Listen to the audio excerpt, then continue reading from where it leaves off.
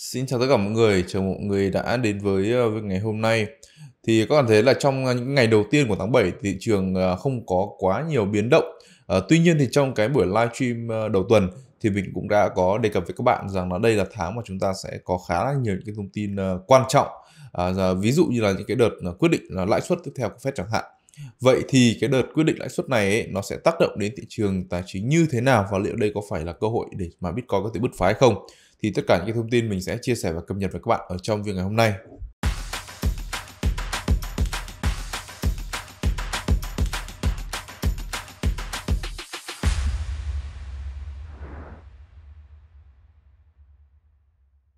Ok, để trước khi mà đi vào nội dung chính của ngày hôm nay thì vào ngày mùng 7 tháng 7 và ngày mùng 8 tháng 7 thì tại thành phố Hồ Chí Minh sẽ diễn ra sự kiện à, uh, GM Việt Nam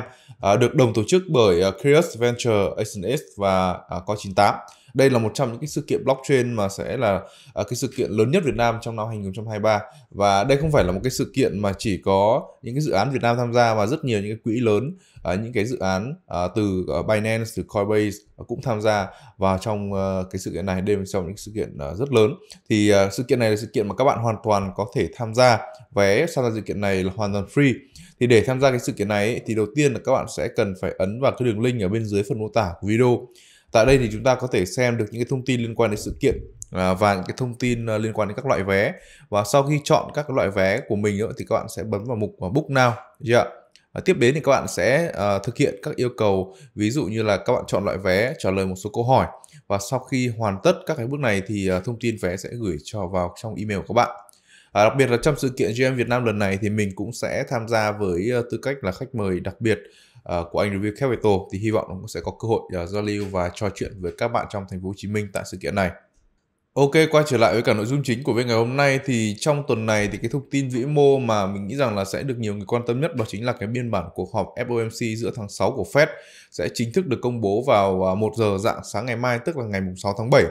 À, nếu như chúng ta theo dõi các cái thông tin liên quan đến các cuộc họp của Fed diễn ra vào tháng 6 thì uh, trong những cái cuộc thảo luận nhóm với các cái đối tác ngân hàng trung ương của mình thì chủ tịch Fed là Powell cũng đã nói rằng là nền kinh tế Hoa Kỳ sẽ tiếp tục uh, chính sách thắt chặt tiền tệ và uh, lạm phát sẽ khó có thể đạt được cái mục tiêu 2% uh, à, trong một khoảng thời gian nữa. À, tại đây thì Powell đã trình bày uh, những cái lý do khiến cho Fed quyết định là thắt chặt tiền tệ uh, trong thời gian tới là bởi vì các cái điều kiện thị trường việc làm ví dụ như là tỷ lệ thất nghiệp uh, thấp, uh, lương cao và tăng trưởng kinh tế đã bền bỉ hơn à, so với cả dự đoán. Và ngoài ra là cái thước đo lạm phát chính đối với các nhà hoạch định chính sách của ông Powell và Fed đó chính là cái mức lạm phát dịch vụ phi nhà ở uh, bao gồm là dịch vụ du lịch, thực phẩm, tài chính, uh, chăm sóc sức khỏe và khách sạn. Thì với những sự kiện trên thì việc mà Fed tiếp tục uh, tăng lãi suất thêm khoảng 0,25% thì đang là một điều mà mình cho rằng là đang rất là rõ ràng rồi. À, tại đây thì chắc chắn là sẽ có một câu hỏi được ra đó là à, cái những cái mảng nào sẽ bị tác động đầu tiên khi mà cái đợt quyết định tăng lãi suất sắp tới của Fed diễn ra. Thì cái câu trả lời cho câu hỏi này đó chính là những cái lĩnh vực liên quan đến ngân hàng. À, chúng ta đều biết rằng là kể từ thời điểm mà Fed liên tục có những cái đợt tăng lãi suất thì các ngân hàng họ đã luôn luôn à, bị đặt vào trong cái tình trạng gọi là khủng hoảng đúng không ạ? À, đỉnh điểm nhất đó là vào thời điểm vào hồi tháng 3 uh, sau khi hàng loạt những ngân hàng lớn tại Mỹ và tại Thụy Sĩ liên tiếp là sụp đổ. Và khi những cái ngân hàng sụp đổ uh, vào cái thời điểm đấy thì kéo theo là tỷ lệ thất nghiệp tăng. Giá nhà địa ốc uh, thương mại của Hoa Kỳ cũng có xu hướng là giảm sâu. Và điều này thì đã tác động rất nặng đến tín dụng của những cái ngân hàng làm cho dòng tiền có cái xu hướng là chuyển dịch sang những cái tài sản ví dụ như là cổ phiếu vàng hay là crypto và với cái dự đoán là Fed sẽ có thêm hai lần tăng lãi suất nữa thì khả năng cao là lĩnh vực ngân hàng. Mình cho rằng sẽ còn hứng chịu nhiều những cuộc khủng hoảng nhẹ à, từ giờ đến ờ, hết năm 2023.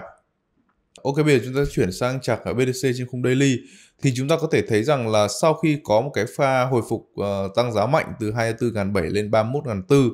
ờ, thì thời điểm hiện tại là chúng ta đang có hai tuần liên tiếp là thị trường đang đi ngang. Thì cái lý do cho cái sự chững lại này có thể hiểu là uh, cái dòng tiền trước đó là đến từ cái sự FOMO của những nhà đầu tư uh, liên quan đến cái việc là thông tin của những tổ chức lớn họ quyết định là nộp đơn để mà mở những quỹ Bitcoin ETF Spot đến SEC và thời điểm hiện tại thì cái sự FOMO này nó đã giảm rất là nhiều. À, còn nếu mà chúng ta nhìn rộng ra thì hiện tại là giá của Bitcoin đang à, chạm vào một vùng kháng cự à, rất là cứng đó là vùng à, uh, 31 ngàn. Và cứ mỗi lần mà Bitcoin tiếp cận đến vùng này thì luôn luôn sẽ có những phản ứng sideways khá lâu hoặc là đảo chiều mạnh và với cái volume như thời điểm hiện tại thì Bitcoin khó có thể phá ngay qua cái vùng kháng cự này uh, nhất là khi mà chúng ta xem qua bit uh, chart uh, Bitcoin DOM ấy, thì hiện tại cái tỷ lệ vốn hóa đang ở mức là 52,2%. Đây cũng là cái ngưỡng mà cao nhất kể từ thời điểm tháng 4 năm 2021. Ở thời điểm đó thì là khi mà Bitcoin DOM giảm thì dòng tiền được chuyển vào Altcoin dẫn đến cái thời điểm là mua uptrend Altcoin season. À, tuy nhiên thời điểm hiện tại thì như mình đã có phân tích ở những video trước đúng không ạ? Mặc dù là Bitcoin DOM đang chạm ngưỡng kháng cự, à, có khả năng là Bitcoin DOM giảm, có nghĩa là dòng tiền sẽ thoát ra khỏi Bitcoin. Tuy nhiên thì dòng tiền này à, khả năng cao là sẽ chảy vào stablecoin nhiều hơn. Thế nên là khi mà chúng ta phân tích uh, cả dưới góc độ phân tích kỹ thuật cũng như là phân tích cơ bản thì uh, khả năng cao là Bitcoin sẽ có thể ít nhất là sẽ hướng đến một cái sự điều chỉnh. Đặc biệt là trong tháng 7 này chúng ta sẽ có những cái thông tin liên quan đến uh, công bố những cái mức lãi suất của Fed cũng khá là nhạy cảm. Ok, tiếp theo chúng ta sẽ đến với một vài những thông tin uh, liên quan đến những cái công ty quản lý tài chính uh, nộp đơn đến SDC để mà uh, xin mà thành lập những quỹ ETF uh, Bitcoin Spot đúng không ạ? Đây là đang là cái chủ đề rất là hot. Thì vào ngày 30 tháng 6 vừa qua thì SDC đồng loạt là trả lại hồ sơ cho tất cả những đơn vị đã nộp đơn đăng ký ETF Spot trong tháng 6 vừa rồi. Lý do là chưa cung cấp đầy đủ những cái thông tin về sàn giao dịch mã hóa đối tác mà ETF Spot phải có thỏa thuận giám sát để mà đảm bảo những hoạt động giao dịch Bitcoin không bị thao túng. Và chỉ ít giờ sau đó thôi thì năm tổ chức là bao gồm là Invesco, Wisdom Tree, à, uh, Walkeries, Arca Invest và Fidelity đã uh, cùng sàn chứng khoán đại diện cho họ là CBOE tái đăng ký lại ETF Bitcoin Spot để NDC. Trong đó thì tất cả uh, các quỹ này đều chọn sàn Coinbase làm sàn đối tác. Uh, sau đó vài ngày thì đến được BlackRock À, công ty quản lý tài sản lớn nhất thế giới hiện tại cũng đã là cái tên mà gọi là khởi đầu cho cái làn sóng uh, nộp Bitcoin ETF spot. Hiện nay thì cũng đã gửi lại đề xuất ờ, uh, ETF của mình lên SEC và tương tự thì BlackRock cũng nêu tên Coinbase làm đối tác giám sát hoạt động giao dịch Bitcoin phối hợp cùng với cả sàn giao dịch nhà Nasdaq như vậy là các bạn thấy là chúng ta có 6 tổ chức đề xuất đến ETF Spot trong thời gian vừa rồi đều chọn Coinbase làm sàn crypto đối tác. À, bất chấp là hiện tại chính sàn Coinbase đang bị SEC khởi kiện với các cáo buộc là niêm yết một số những cái tài sản là mã hóa mà cơ quan này cho là chứng khoán.